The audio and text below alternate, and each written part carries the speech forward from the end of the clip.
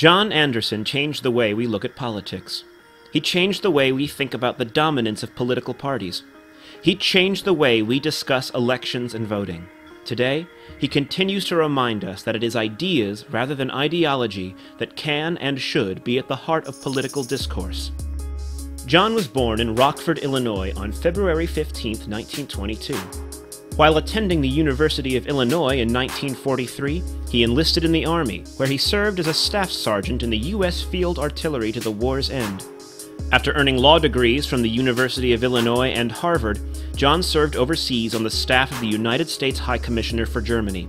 He corresponded with State Department photographer Keke Machakos, who, after some, quote, innocent blackmail, accepted a marriage proposal over telegraph. They were wed in 1953 and over the years had five children. In 1956, John was elected state's attorney in Winnebago County, Illinois. In 1960, he was elected to represent Illinois' 16th congressional district.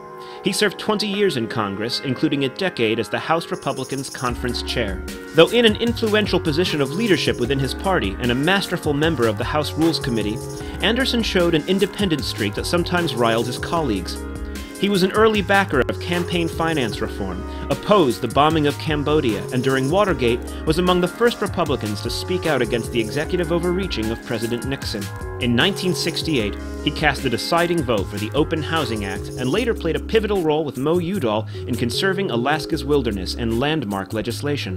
In 1979, John launched a campaign for president, drawing attention before the primaries for his remark that the only way to balance the budget, raise military spending, and cut taxes was with mirrors. Spurred on by support from across the spectrum, he made the bold decision to launch an independent bid.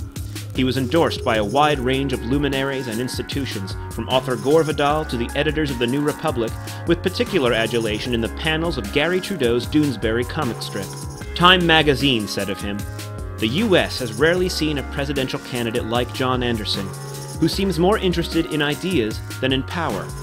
In his campaign, he was a champion of U.S. energy independence, the Equal Rights Amendment, and a balanced budget. His proposals that we add a 50 cent per gallon gas tax and reduce Social Security payroll taxes now look particularly prophetic through modern eyes. John earned a place on the ballot in all 50 states, debated Ronald Reagan before a national audience, and won nearly 6 million votes. His candidacy paved the way for more independent runs at all levels of office and broke new ground for those seeking fair access to the ballot and debates. Given how polls early on showed him above 20%, we'll never know what might have happened with a fairer electoral system designed to accommodate voter choice.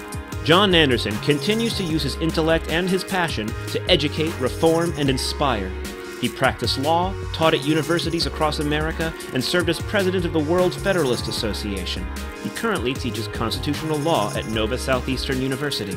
In Fairvote's first year in 1992, he signed on as chair of its advisory board, since 1996, he has been Fairvote's chairman, at the forefront of the movement to realize democracy's fullest potential through meaningful reforms such as instant runoff voting, proportional representation, cumulative voting, and a national popular vote for president.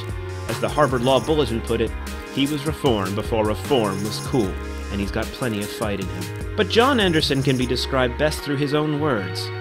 All elements in our society have got to be listened to, he said. Their voices have got to be heard. That means we've got to look at the laws of democracy and evolve and develop a structure that is more responsive than the current structure. In 2005, John said, Americans want and deserve a bold, pragmatic vision for free and fair elections here at home, bridging the so called red state blue state divide. We must put America's democracy back in the hands of the voters where it belongs. Writing in 1999 about his larger vision for all people around the world, he told us, we must urge full participation in the global community, seeing the world as the first astronauts saw it years ago. One world whose political lines fade in the face of such issues as global warming, population growth, fair trade, conflict resolution, and nuclear proliferation. And to quote him once more, what drives me is the realization that there are a lot of people like me with whom I can make a common bond and make common cause, to try to have an influence even though I am not an elected official. I've still got to do something. I've got to keep thinking. And so he does today. On its 15th anniversary, Fairvote proudly honors John Bayard Anderson.